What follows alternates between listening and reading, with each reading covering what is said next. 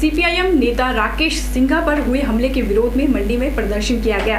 भारतीय communist party, माकपा जिला committee ने जेपी कंपनी के खिलाफ जिला मुख्यालय में धरना प्रदर्शन किया। कार्यकर्ताओं ने बताया कि हमले के विरोध में पूरे प्रदेश में प्रदर्शन करने का ऐलान किया गया है और इस मसले पर दिल्ली में सीपीएम नेता, कांग्रेस अध्यक्ष सोनिया गांधी और राष्ट्रपति से भी मुलाकात करेंगे। सीपीआईएम के सचिवालय सदस्यों ने बताया है कि जेपी कंपनी किन्नौर में जल विद्युत परियोजना का काम कर रही है, जिसमें बड़े पैमाने पर श्रम कानूनों का उल्लंघन करते हुए मजदूरों का शोषण किया जा रहा है, जिसके खिलाफ वहाँ के मजदूरों ने अपने मौलिक अधिकारों का इस्तेमाल करते हुए लोकतांत्रिक तरीकों से हड़ताल की है। सचिवालय सदस्यों ने बताया है कि प्रदेश सरकार जेपी कंपनी के साथ मिलकर पूरे किन्नौर में गैर कानूनी तरीके से धारा 144 लगा रखी है और प्रदेश सरकार तानाशाही पूर्वक तरीके से उस आंदोलन को कुचलने के लिए मजदूरों को बैठके करने से भी रोक रही है।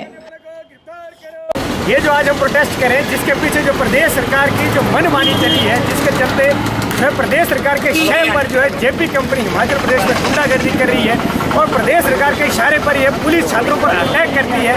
उन तमाम चीज़ों के खिलाफ जो है आज सीपीआईएम जिला कमेटी मंडी ने प्रोटेस्ट किया है और इस तरह का प्रोटेस्ट पूरे हिमाचल प्रदेश में हो रहा है। और ये साफ़ संकेत हम साफ़ कहना चाहते हैं सरकार नहीं झुकती, अगर सरकार नहीं मानती है, निश्चित तौर पर हमारा आंदोलन जो आने वाले समय में और ऊपर सीपीआईएम के सचिवालय सदस्यों ने बताया है कि कंपनी द्वारा लाए गए किराए के गुंडों व पुलिस मिलकर मजदूरों को डरा धमका रही है। यही नहीं, स्थानीय जनता, उनके घर, जंगल ज़मीन की क्षति होने पर भी नुकसान होने की भरपाई की मांग करती है। कार्यकर्ताओं ने जेपी कंपनी पर आरोप लगाते हुए बताया है कि कंपनी के गुंडे स्थानीय जनता को भी डरा धमका रहे हैं और प्रदेश सरकार के साथ मिलकर स्थानीय जनता के आंदोलन को कुचलने की भरपूर कोशिश कर रही है।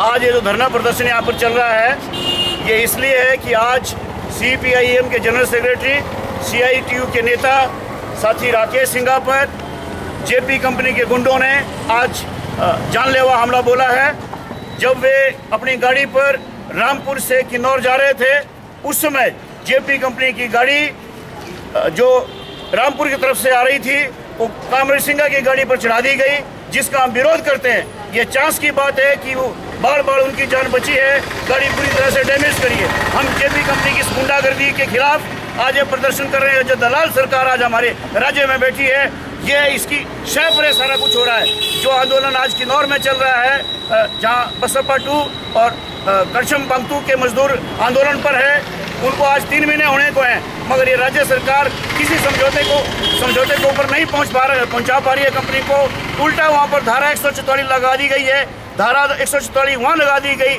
जहाँ मजदूर रहते हैं, उनका आवास स्थान है। ये बड़ी खेत की बात है, हिंदुस्तान के इतिहास में पहली बार है कि घर के अंदर धारा एक सौ चौतालीस है।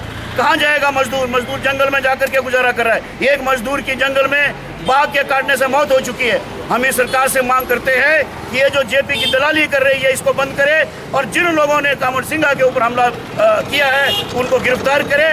और उनके ऊपर कानूनी कार्यवाही की जाए। अन्यथा ये जो संघर्ष है, ये पूरे राज्य में, ये खाली आज यही नहीं हो रहा है, पूरे राज्य में हो रहा है। इस आंदोलन को और तेज किया जाएगा अगर इन्होंने हमारे जनवादी अधिकारों पर हमला किया। ऐसा ही रखा तो माकपा जिला कमेटी मंडी मांग करती है कि जल्द से जल्द किन्नौर में श्रम कानून को सख्ती से लागू किया जाए। व कॉमरेड सिंघा पर हमला करने वालों को जल्द से जल्द गिरफ़्तार किया जाए। व किन्नौर से धारा 144 तुरंत हटाई जाए। कैमरा पर्सन युगल के साथ ब्यूरो रिपोर्ट के चैनल मंडी।